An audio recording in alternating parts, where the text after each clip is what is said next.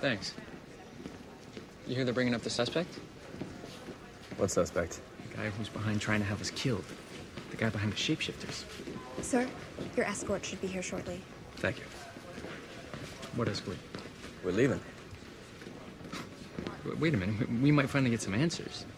We should stay here and we should assist with the interrogation. No. I finally got Walternate to agree to help me. I don't think the way to say thank you is to tell him how to do his job. So that's it. Yeah, you, you got what you wanted. Yes, I got what I wanted. And whatever he finds out in that interrogation, he's going to share with you. So you got what you came for. And now all I want to do is get back to the other side, study the blueprint. I need to be a part of this investigation. I lost a partner. I lost a universe.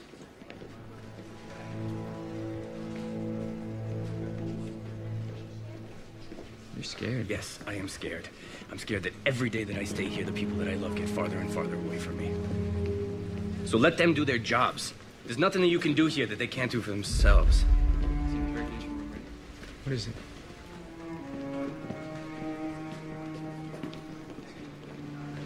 You know that guy?